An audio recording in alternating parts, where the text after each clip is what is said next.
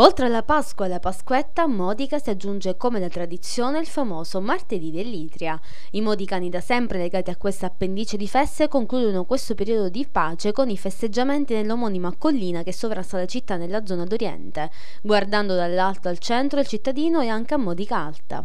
Durante questa festa è rispettato e consumato un rito forse unico nel locale panorama delle feste religiose, direttamente collegato alla festa di San Giorgio, e cioè l'acquisto e il consumo del cedro piretto.